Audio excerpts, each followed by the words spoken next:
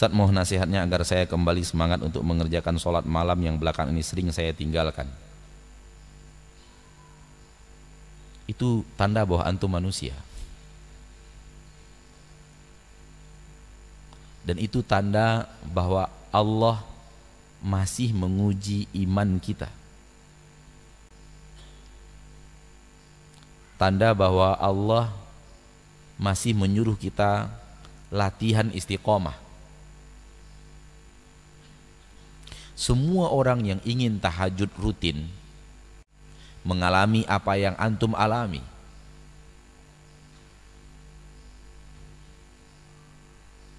Jangan kira antum sendiri yang punya pengalaman itu. Banyak saudara-saudara antum yang lain ingin tahajud rutin. Bisa dia.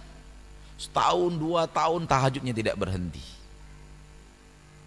kemudian datang sifat manusianya yang saatnya Allah katakan turun, turun.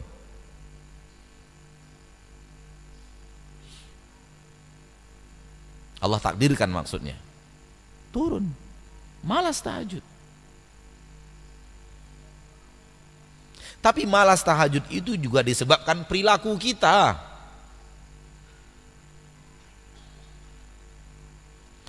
Percaya tidak percaya, antum yang bertanya atau kita yang punya pengalaman yang sama. Ternyata kita malas tahajud karena kita tidak menundukkan pandangan mata di siang hari.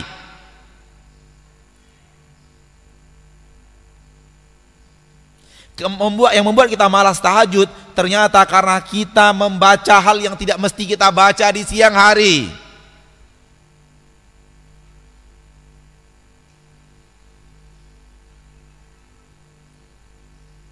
Itu punya efek ke malam hari.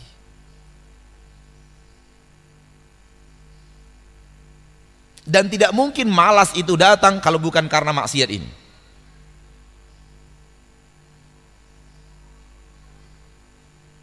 Karena kalau kita ibadah kita di siang hari sama dengan ibadah kita ketika kita rajin tahajud, rajin tahajud itu akan bertahan seperti itu. Semakin bagus ibadah kita di siang hari, semakin bagus tahajud kita di malam hari. Allah tidak pernah berlaku zalim. Ibadah kita di siang hari menarik, makin meningkat, kok tahajud kita menurun gitu? Nggak mungkin itu. Jadi untuk menjaga ibadah tahajud di malam hari bukan hanya semangat bangun, tapi juga semangat menjaga diri di siang hari.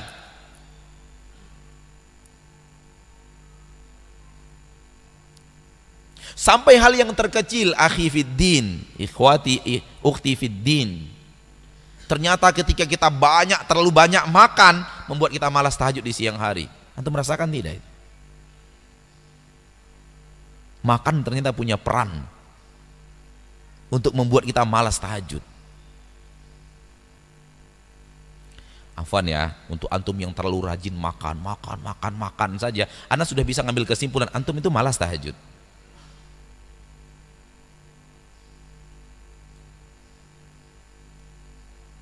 Dan itu sudah anda buktikan. Orang yang kerjanya makan, makan siang itu padat sepadat-padatnya dia isi. Dan itu kebiasaan, dia mengatakan kebiasaan saya makan malam begini. Kalau enggak, enggak bisa tidur. Udah dapat kesimpulan itu. Ini malas tahajud.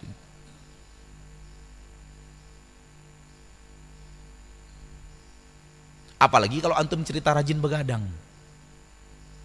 Tidurnya itu jam 1 Ustaz, setengah satu Ustaz. Nah itu udah dapat kesimpulan kita itu. Malas tak? Tahajud.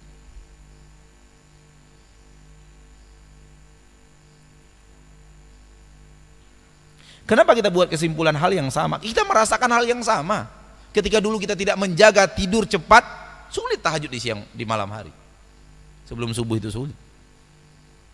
Ketika dulu kita rajin makan malam, rajin mengisi perut ini penuh-penuh terus, pagi penuh, siang penuh, malam penuh,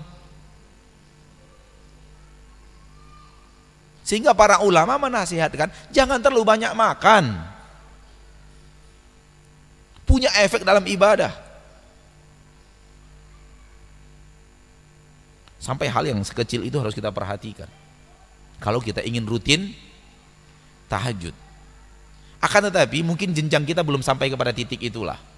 Tapi jenjang kita mungkin masih sampai kepada kita ternyata setelah kita rajin tahajud terjaga setahun terjaga enam bulan tujuh bulan mundur lagi dia.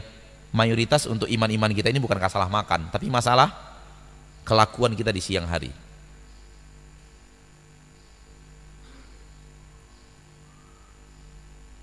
Ring tiba-tiba berdering handphone. Kita tahu ini. Ini mantan pacar ini yang nelfon jawab tidak? Harusnya kan tidak jawab, kita tahu. Aduh. Kita tahu siapa dia dan bagaimana pandainya dia ngomong dan bagaimana hati kita masih punya masih ada kita selipkan untuk dia sekian persen. Apalagi istri kita sekarang dalam keadaan tidak nyaman. Suka cemberut. Ah, jawab aja lah.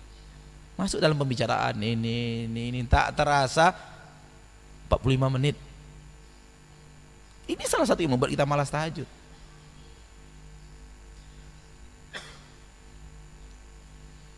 Yang membuat kita turun ibadah kita karena maksiat kita.